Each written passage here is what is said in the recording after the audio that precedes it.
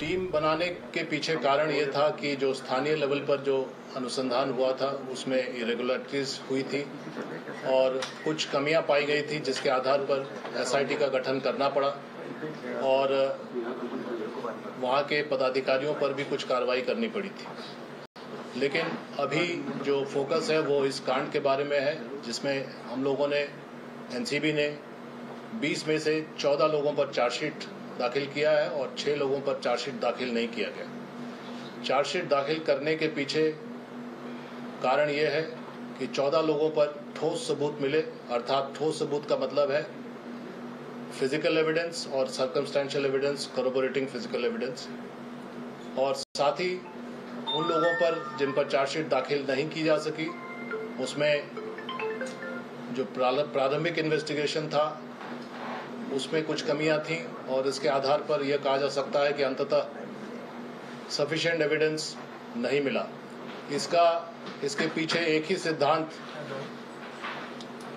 को माना गया और वह सिद्धांत माननीय सर्वोच्च न्यायालय ने भी कई बार दोहराया है। वह प्रिंसिपल है beyond reasonable doubt beyond reasonable doubt अगर रीजनेबल डाउट कहीं है तो उसके बियॉन्ड होना चाहिए, तभी सबूत को कारगर माना जाएगा। और ऐसा अक्सर माना जाता है कभी कभी गलती से माना जाता है कि एनडीपीएस एक्ट एक ऐसा स्ट्रिक्ट एक्ट है कि अंदाज पर भी आप कार्रवाई कर सकते हैं। लेकिन माननीय न्यायालय ने कई बार कहा है कि अंदाज पर कार्रवाई नहीं होनी चाहिए। स्ट्रिक्ट एक्ट ज़रूर है, लेकिन प्रिंसिपल बियॉन्ड रीजनेबल डाउट का ही मान्य होगा। और उसी के आधार पर 14 लोगों पर बियॉन्ड रीजनेबल डाउट हम लोगों ने एविडेंस पाया, छह लोगों पर एविडेंस नहीं पाया। इसलिए 14 लोगों पर चार्जशीट आज कर दिया गया है और छह पर चार्जशीट नहीं किया जा सका।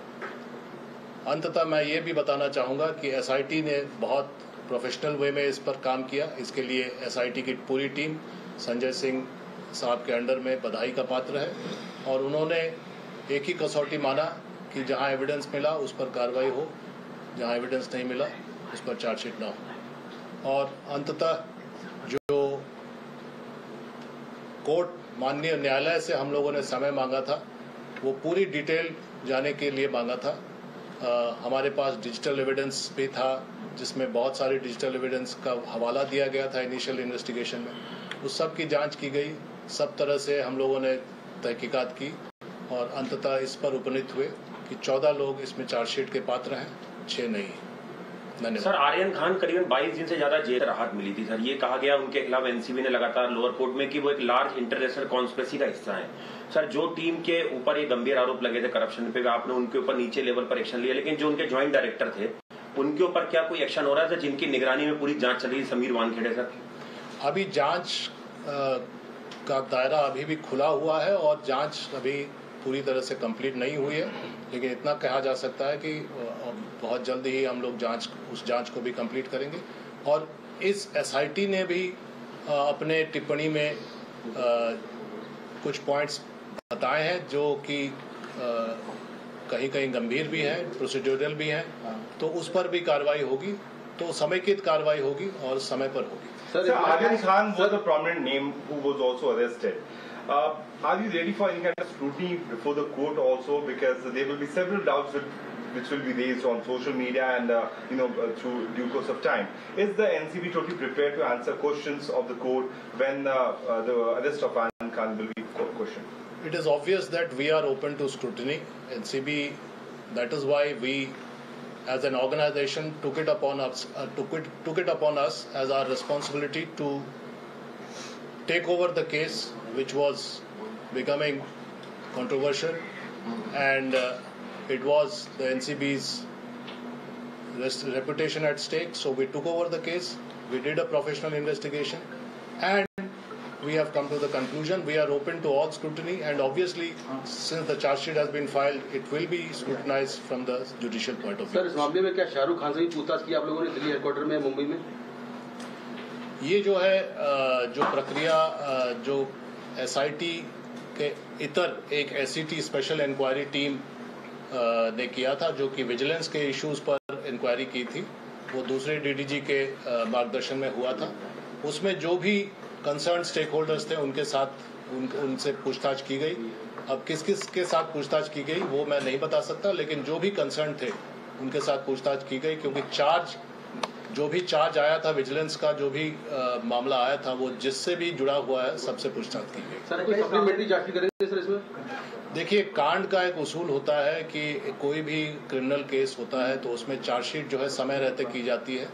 तो समय हमारा समय सीमा आज का था तो आज के डेट तक चार्जशीट की गई।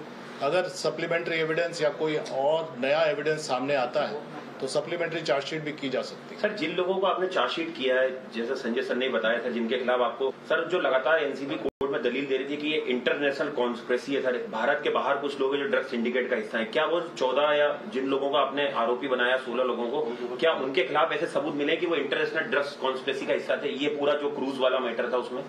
जिस सेक्शन में चार्जशीट दाखिल हुई है उससे ये स्पष्ट है कि इंटरनेशनल कॉन्स्पिरेसी नहीं थी बल्कि अलग अलग अलग अलग पार्ट में लोग बटे हुए थे। हाँ ज़रूर ये था कि क्रूज में सब लोग थे या क्रूज में चढ़ने वाले थे। लेकिन वो आपस में एक साथ, एक ही ग्रुप का हिस्सा थे, ऐसा नहीं पाया गया। वो अलग अलग ग्रुप के, ग्रुप में आए थे। कभी कोई चार में था, कोई तीन में, कोई दो में। लेकिन बटे हुए थे, इसलिए ये एक जॉइंट कॉन्स्पिरेसी नहीं थी बीसों की या चौदह की।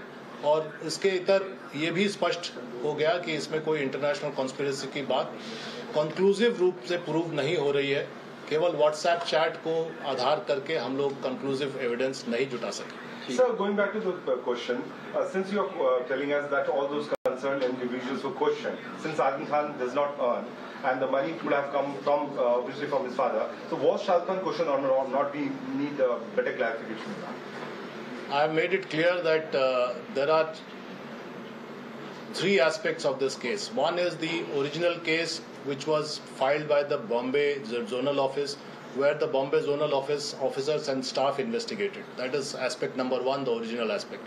The second aspect is after some irregularities and controversies were discovered, the SIT had to take over the case for professional investigation under Mr. Sanjay Singh and he supervised the matter and he came to a professional conclusion that 14 people can be charge sheeted, 6 cannot be because of evidence. Sir, sir, and, sir, and finally, there is a vigilance, vigilance aspect is a separate case, separate matter. It, it is still being finalized, and I can assure you, all those who were connected to that vigilance case, remotely or otherwise, were all evidence was taken from all of them. Sir Arif Khan को लेकर के क्या clean sheet बनी जाए या फिर supplementary chargesheet भी आगे दाखिल कर सकते हैं आरिफ खान को लेकर? कोई भी कांड मैंने कितनी बार कहा कि कोई भी कांड जो है ओपन हो सकता है क्योंकि चार्जशीट का दाखिल करना अपने आप में समाप्ति को इंगित पूरी तरह से नहीं करता। अगर कोई फ्रेश एविडेंस मिलता है तो उसके लिए हम लोग ओपन है। सर आर्यन खान को जिस बेसिस पर क्लीन आप लोग कह रहे हैं कि आर्यन खान को क्लीन चिट दे दिया गया हमने देखा था कि उस समय लगातार ये कहा जा रहा था कि इसमें बल की बात हो रही है, फुटबॉल की बात हो रही है। और इसी व्हाट्सएप चैट के आधार पर आप लोगों ने रिया चक्रवर्ती को भी गिरफ़्तार किया था। तो क्या उस व्हाट्सएप चैट का कुछ आधार नहीं बनता? व्हाट्सएप चैट या कोई भी चैट, चाहे वो व्हाट्सएप पर हो या किसी भी माध्यम से हो, उसका करोबोरेशन फ़िज़िकल होना चाहिए। कई बार माननीय न्यायालयों ने यह स्पष्ट किया है कि व्हाट्सएप चैट अपने आप में कोई मायने नहीं रखता। आप व्हाट्सएप चैट पे किसी चीज़ की बात कर सकते हैं, लेकिन उसका अगर कोरोबोरेशन एंकरिंग एंकरिंग अगर कोई फ़िज़िकल एविडेंस के साथ शर्तिया नहीं होता है तो वो अपने आप में एविडेंस कंप्लीट नहीं होता है। और ये प्रिपॉन्डरेंस और प्रोबेबिलिटी का जो प्रिंसिपल है, वो एनडीपीएस एक्ट पर लागू नहीं होता है। बियॉन्ड रीजनेबल डाउट होना चाहिए और बियॉन्ड डाउट ऐसा एविडेंस हम लोगों को नहीं मिला। ठीक है सर